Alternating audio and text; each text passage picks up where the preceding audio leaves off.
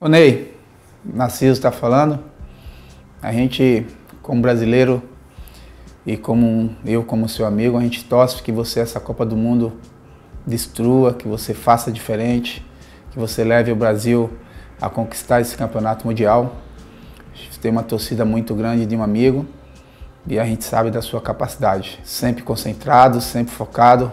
Copa do Mundo é jogos curtos e você sabe que você tem toda a capacidade, junto com toda a equipe da seleção brasileira, de trazer esse campeonato para a gente. Força, acredite, nós estamos na torcida aqui por você.